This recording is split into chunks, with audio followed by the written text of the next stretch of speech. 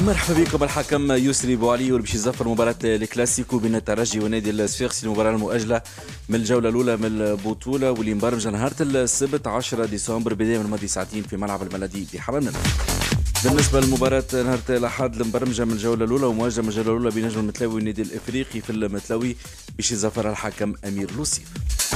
مكتب الرابطة الوطنية لكرة القدم سلط عقوبة ضد هلال الشباب 2000 دينار من أجل تفوه جماهيره بعبارات بذيئة تجاه الجامعة التونسية لكرة القدم في مباراة النادي الصفاقسي اللي تلعبت نهار 15 نوفمبر. أيضا توجيه توبيخ ضد النادي الأفريقي من أجل رمي القوارير في مباراة الأولمبي البيجي. كيف كيف؟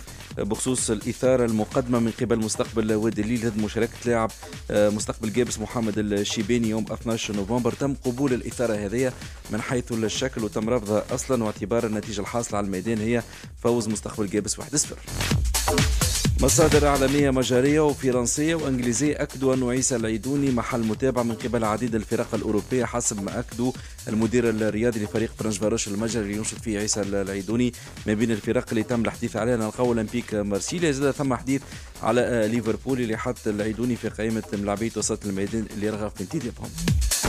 الاتحاد الدولي لكرة القدم أعلن على حكام مقابلات غدوة في ربع نهائي المونديال مع الأربعة متاع العشية المنتخب الكرواتي ضد الغزيل الحكم الإنجليزي ميكائيل أوليفيي والثمانية متاع الأرجنتين وهولندا. الحكم الإسباني أنطونيو لاهوس. كانت هذه ثلاث نشرات رياضية اليوم تقع على السيت موزايكا فان